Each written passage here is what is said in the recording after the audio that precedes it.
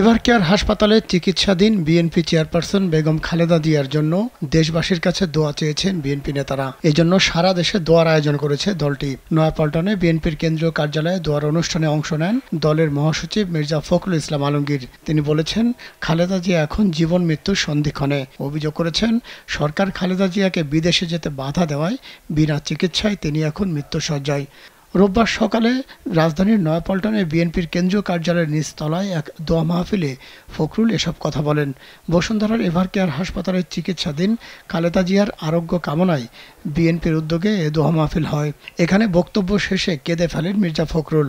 কিন্তু দুর্ভাগ্য আমাদের, সেই নেত্রী আজকে বিনা চিকিৎসায়, আজকে বন্দি অবস্থায়, তিনি আজকে মৃত্যু শয্যায় আপনারা আল্লাহর কাছে দোয়া করেন। আমি আপনাদেরকে অনুরোধ করব, আমাদের সকল নেতৃবৃন্দের পক্ষ থেকে আসুন, আমরা আজকে কায় মনোবাক্যে আল্লাহ তালার কাছে দোয়া করি, যে আল্লাহ তালা যেন তার জান বকশে দেন।